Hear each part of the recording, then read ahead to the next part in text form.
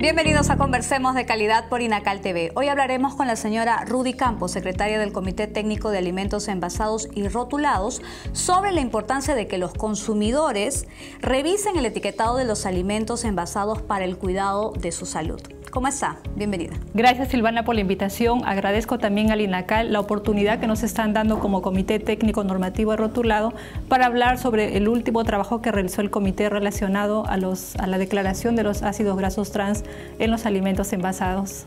Bien, antes de hablar de ese tema me gustaría saber por qué es importante hacerle entender a los fabricantes y los productores de alimentos envasados que consignen de manera correcta la información en las etiquetas. Sí, uno de los principios básicos del etiquetado es entregar al consumidor información de manera clara, precisa y transparente.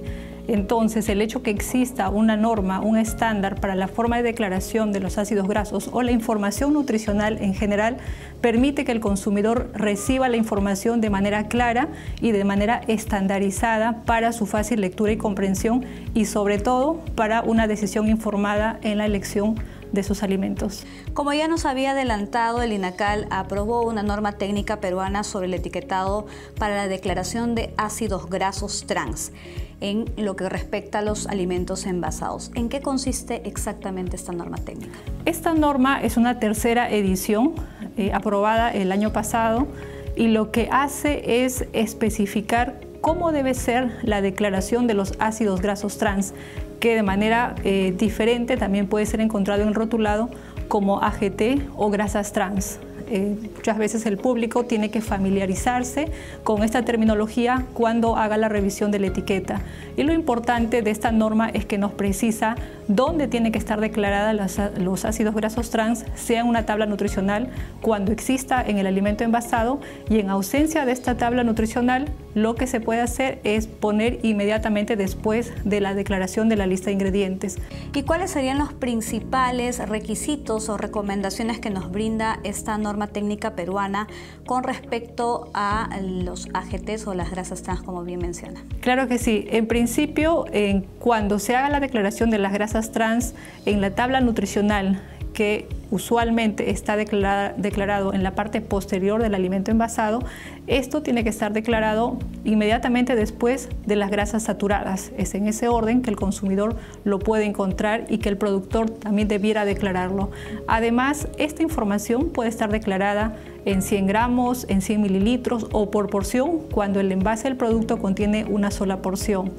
Asimismo, las grasas trans es importante tomar en cuenta que pueden ser de origen natural o de origen industrial. Cuando se hace la declaración de los ácidos grasos trans en la etiqueta, es importante mencionar que se hace la suma de ambos, los de origen natural, que pueden provenir, por ejemplo, eh, en la leche o en la carne, y los de origen industrial que son elaborados, por ejemplo, por procesos cuando se deodorizan los aceites para la venta final al consumidor para que tenga una mejor característica. Muy bien, ¿y cómo este documento contribuye a la protección de la salud de los consumidores?